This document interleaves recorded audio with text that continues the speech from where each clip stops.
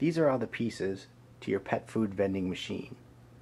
First, you have the dispensing wheel, the chrome hopper, the coin mechanism, the chute door, the chute cover, the lid with the top lock and key, the plastic body, the cash box extension, and a polycarbonate globe with vinyl decals. This is the cash box extension. As you see, it latches and opens up like a drawer with the top.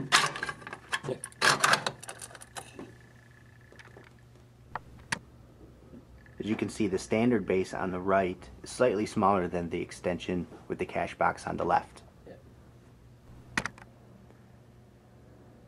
This is the base with the cash box extension. We're going to be building the entire machine from there.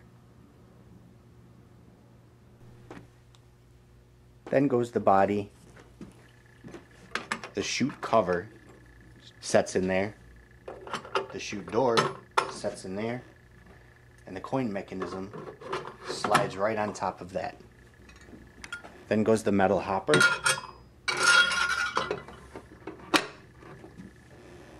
And the dispensing wheel.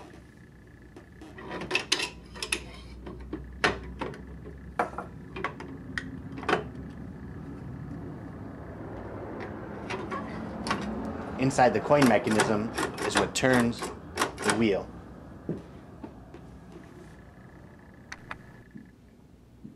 Once the screws are secured, you can check to see if the gears are lined up with the teeth of the dispensing wheel, like this.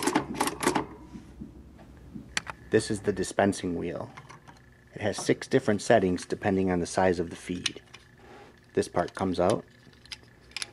One for the smallest, up to six for the largest.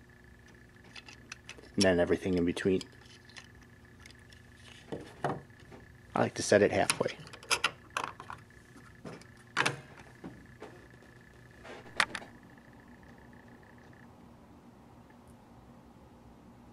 Then you put your animal food globe on there with the lid and the top lock. And there you have your animal food dispenser.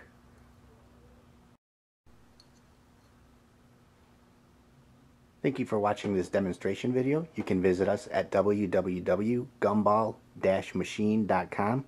That's www.gumball-machine.com.